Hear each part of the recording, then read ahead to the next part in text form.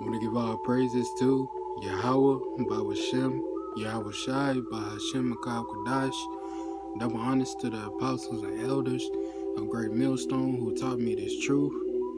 Peace and blessings to the hopefully elect. This your brother Shathaq Shar. And I want to go into a lesson that Yahweh Yahawashi is only dealing with the nation of Israel.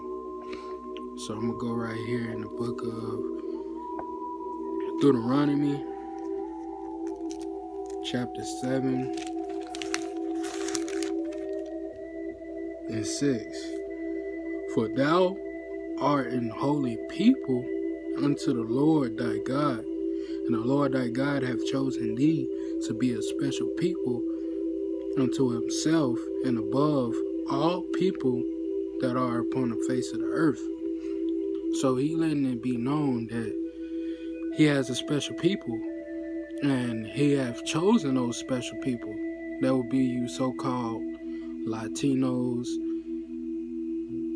Negroes, Native Americans, Seminole Indians, Haitians, Jamaicans, you know, on and on and so forth.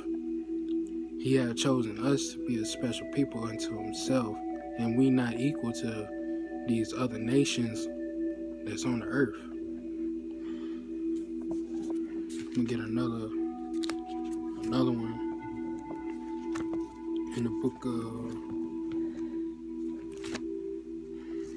Joel 2 and 27. And ye shall know that I am in the midst of Israel. He said, I am in the midst of Israel. You can't get around that he in the midst of Israel. Like, find me a scripture that says that the Lord is uh, a God to any other nation but Israel. You can't get around this one. Joel 2 and 27. And ye shall know that I am in the midst of Israel, and I am the Lord your God none else, and my people should not, I mean, should never be ashamed. You can't get around that, man. Let me get another one.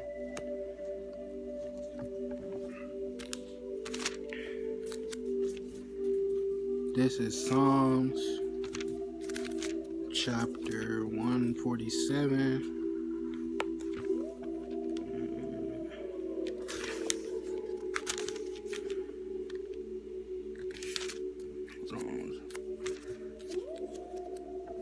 Chapter 147 and 19, he showeth his word unto Jacob, and his statutes and judgments unto Israel.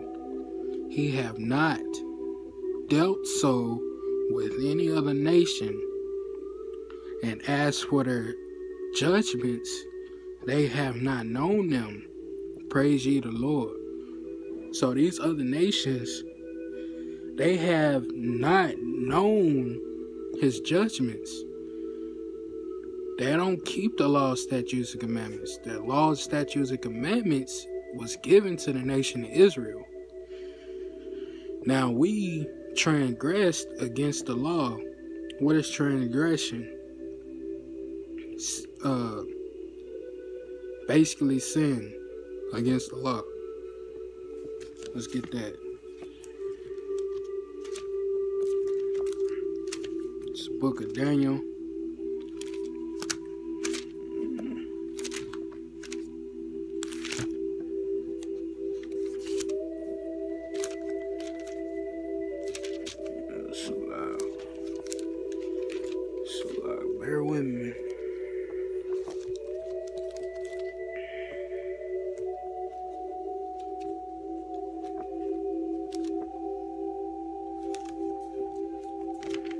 Daniel chapter 9